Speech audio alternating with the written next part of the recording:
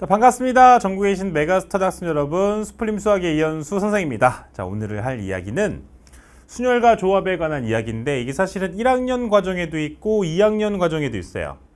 1학년 수학 하 과정에서 경우의 수 순열과 조합을 배우고 2학년 확률과 통계는 전부 다 통계 단원 일부를 제외하고는 이 논리로 문제를 풀어야 되기 때문에 그리고 최근에는 이제 이과 학생이랑 이과 학생들이라고 하는 자연계열 학생들도 모두 거의 확통을 하는 분위기라서 지금 거의 대부분 학생들이 고민하고 있는 소재 중에 하나거든요. 특히 이번 시험 범위의 1학년 과정이 여기 여기가 기말고사 시험 범위여가지고 학생들 보면 굉장히 다양하게 고민을 하고 있더라고.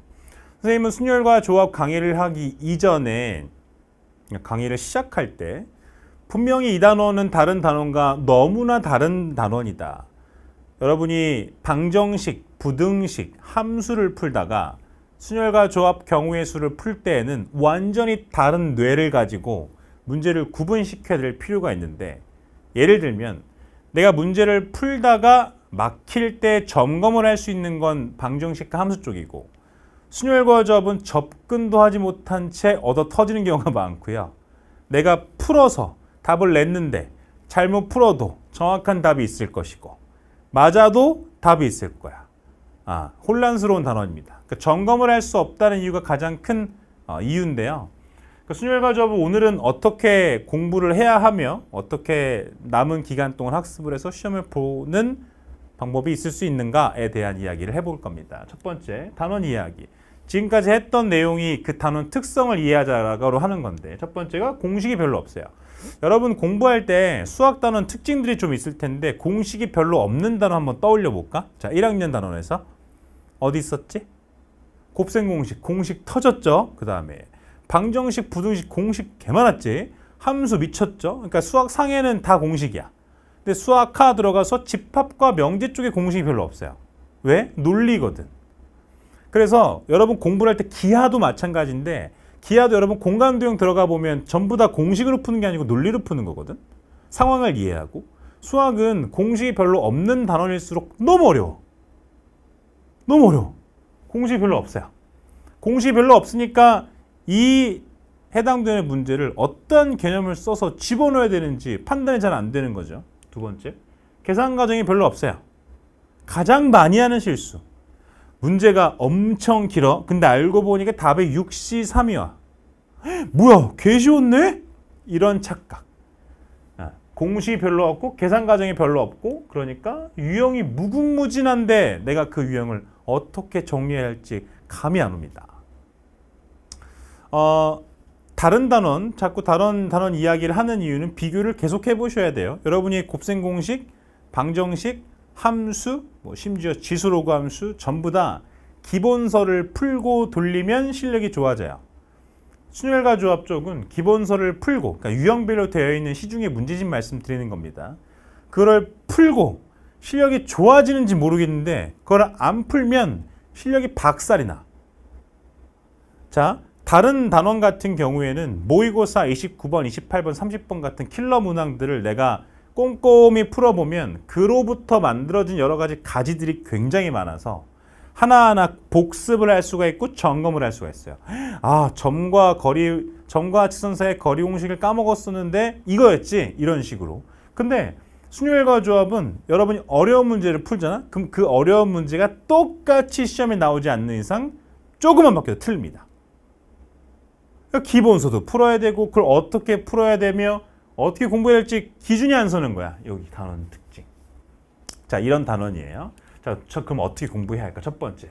어, 쌤도 이러한 고민을 되게 많이 했었거든요. 쌤도 이제 확률과 통계가 필수 교육 과정이었던 시절에서 확률과 통계에 대한 고민이 너무 많이 들어서 왜냐면 나는 공부를 하긴 하는데 시험에 나올 때마다 틀리고 자신 있게 풀어도 틀리고 몰라서 헤매면 어쩌다가 맞고 이렇게 돼버리니까 아 그럼 이게 영어 듣기처럼 매일매일 꾸준히 몇 문제씩 풀면 실력이 좋아지겠지? 막연한 기대.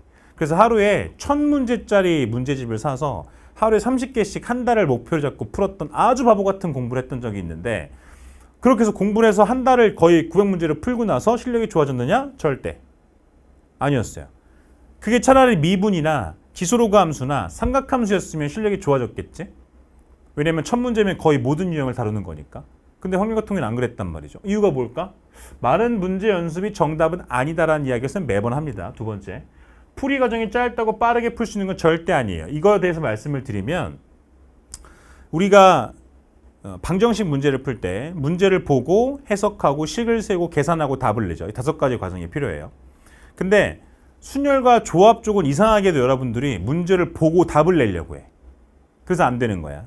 급한 학생들의 특징, 문제 밑줄 긋고 있죠.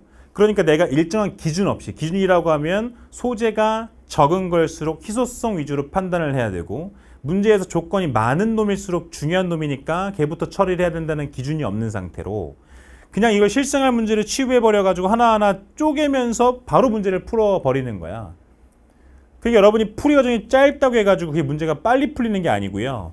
여기서 문제를 읽고 해석하고 내가 식을 세우고 계산하는 모든 과정들이 순열과 조합 쪽에서는 고민이라는 과정이에요. 생각을 충분히 하고 답을 내는 거예요. 그러니까 내가 다른 단어 문제를 풀 때 5분 정도 걸렸는데 그와 비슷한 수준의 순열과 조합 쪽 문제를 1분 만에 풀어버릴 수는 없다라는 거죠. 얘를 5분 동안 풀었으면 얘는 4분을 고민하고 1분 동안 답을 내는 거예요.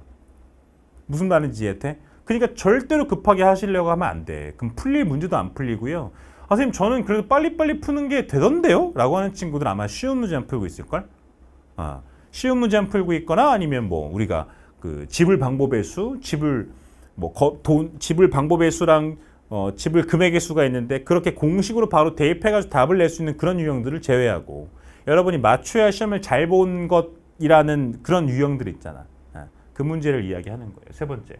해설지를 보는 것을 다른 과정들은 별로 다른 단원들은 권장을 하지 않아요. 답을 보고 채점을 할 때는 필요하지만 해설지를 보고 그 해설지를 따라가는 건 절대로 권장하는 편은 아닌데 순열과 조합적은 조금 여러분 고민해 보고 바로 해설지 보는 것도 권장합니다. 왜? 해설지가 이해가 안 되거든. 그러니까 이건 어차피 논리적인 단원이라서 여러분 해설지를 보더라도 그 해설지에서 이야기하는 그 논리가 무엇인지 알아야하는 게 더 중요해서 해설지를 펴놓고 옆에서 공부하는 건 좀 그렇지만 생각하는 시간이 내가 바로 떠오르지 않으면 해설지를 보는 그 사이의 간격을 다른 단원보다 좀 짧게 가져가도 된다는 거죠. 해설지를 보는 것도 괜찮으니까 무조건 풀이를 꼼꼼하게 이해하셔야 돼요.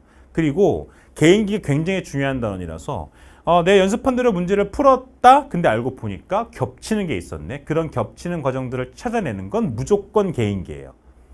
여러분이 평소 연습을 하지 않으면 시험장 가서 절대로 찾을 수가 없어. 그러니까 이런 세 가지 방법, 크게 줄기를 정리하자면 첫 번째, 절대로 급하게 풀지 말아라. 고민하는 시간 4분, 그 다음 푸는 시간 1분 이어도 좋으니까 다른 단원에 비해서 빨리 풀려고 하지 말아라. 두 번째, 순열보다는 조합 쪽 문제를 많이 다뤄보셔라.